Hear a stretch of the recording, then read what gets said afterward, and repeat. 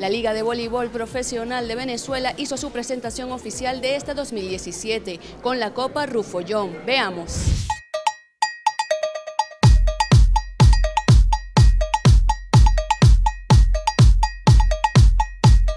Nos encontramos con Eduardo Álvarez, quien es el presidente de la Liga Nacional de Voleibol. Hablar un poco ¿no? del inicio de esta liga del 2017.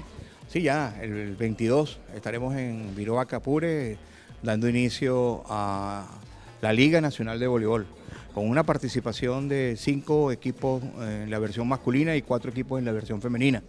Eh, se jugará un sistema de Grand Prix contra todo. Esto significa que todos los equipos se concentrarán los fines de semana en la sede que le corresponda y bueno, jugarán todos los equipos todos contra todos en, en una serie de partidos hasta llegar en 52 partidos en la versión masculina. Tendremos casi 100 juegos en lo que tiene que ver ambas ligas. Estarán atletas de las selecciones nacionales, tanto femenino como masculino, en las categorías menores y juveniles y adultos participando en ella.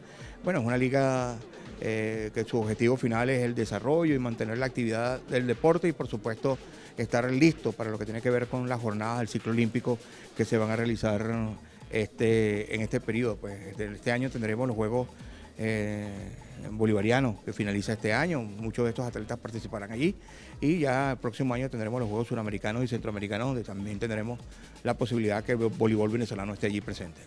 Hablar también de las novedades, que es el premio que se le va a dar al mejor atleta femenino y masculino.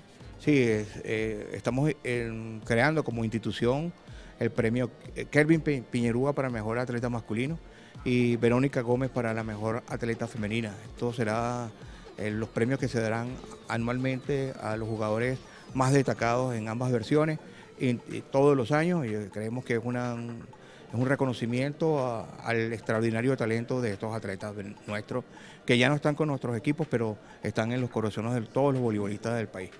¿Cómo ve la recepción ¿no? del público con el voleibol? Mira, el, voleibol es un deporte que se practica eh, de forma curricular en las escuelas, en las comunidades, es de, fácil práctica y uso. Yo creo que vamos a tener mucho público en las jornadas que se realicen de Grand Prix, en, sobre todo en estos estados eh, como Cojedes, como Apure eh, y Portuguesa, que hay muchos voleibolistas y que bueno, que van a tener la oportunidad de que la Liga Nacional en, este, en esta oportunidad esté en estos estados. Hacemos una invitación a todos los amantes del voleibol venezolano que sigan la Liga Nacional de Voleibol.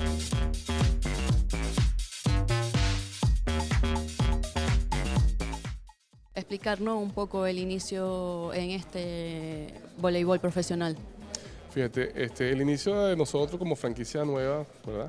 Este, ha sido bastante amplio porque comenzamos la pretemporada una vez que la liga fijó la primera fecha de, inicio de la liga, ¿verdad? Nosotros comenzamos a la pretemporada. Desde allí no hemos parado. Quiere decir que tenemos aproximadamente ya dos meses de pretemporada, de los cuales hemos realizado tres intercambios de fogueo con los muchachos. Han sido bastante exitosos. De verdad estoy muy conforme y muy contento con el equipo de vencedores de Cogede y esperamos cumplir con todas las expectativas de la liga este año. Vamos a participar en las dos disciplinas, pero la, la femenina está ahorita en pleno campamento para seleccionar el equipo. Es el primer año, pero ¿cuáles son las expectativas no, del club? Bueno, las expectativas, tú sabes que tú participar, tú quieres ganar, pues. Entonces, las expectativas de nosotros están metidos en las finales. Y si podemos llevarnos el torneo, queremos hacerlo, pues. Tenemos tanto personal técnico como atletas para cumplir con las metas. ¿Cómo ve la participación de los niños? ¿O es fácil conseguir atletas que se aboquen a este deporte? Fíjate, sí es fácil.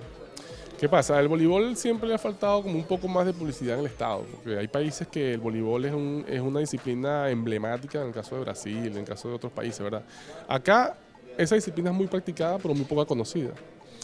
A nivel regional en Cogede existe mucho talento, mucho talento, inclusive tenemos talento de talla olímpica, como es el caso de Igor Hernández, ¿verdad?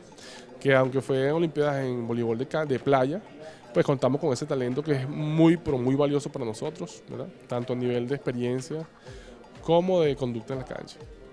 Este, a nivel de los niños, como tú dices, pues allá en Coge hay mucha, mucha participación de, de, toda la comunidad, de los niños, les fascina esa disciplina, estamos muy conformes con, con, la atención que nos han dado. En los juegos de pretemporada el gimnasio casi se pone a un 100%.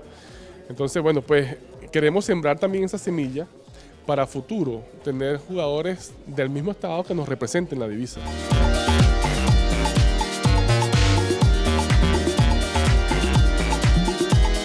¿Cuáles son las expectativas del equipo? Bueno, buenas expectativas, hay un equilibrio de fuerzas entre experiencia y juventud, muchos jugadores con bastante nombre en el país y que han logrado bastante cosas por, por, el país y que ahora están con, con el equipo Anzuate y realmente este es mi primer año en, el voleibol de cancha en la Liga, la Liga Nacional y bueno, la expectativa es estar entre los primeros tres equipos del país. ¿Cómo ves el desarrollo de la disciplina en Venezuela? ¿no? Bueno, con esta apertura de las ligas, tanto voleibol de playa como voleibol de cancha, hay una nueva iniciativa para para el desarrollo de la misma en la masificación, pero en el alto rendimiento.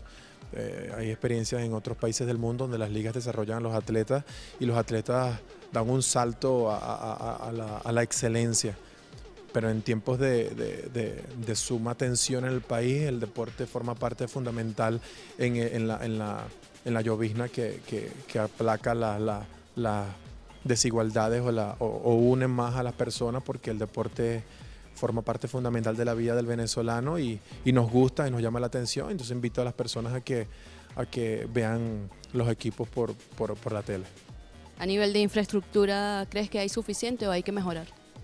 Eh, si nos ponemos nos damos cuenta de cuántas infraestructura en Venezuela tenemos para hacer hasta Juegos Olímpicos de cualquier disciplina. Lo que tenemos que hacer es cuidar las que tenemos y hacer una, una, un trabajo de rehabilitación de las mismas, ya que han sido entorpecidas por, daños de, dejación o nosotros mismos no sabemos utilizar las instalaciones, entramos con los zapatos inadecuados y no nos dan las charlas o no dan las charlas pertinentes a quienes hacen el uso de las mismas y mal usamos las instalaciones y por eso algunas están deterioradas, pero sí contamos con muchísimas, muchísimas instalaciones para hacer esta liga y muchas, muchas, muchas otras más.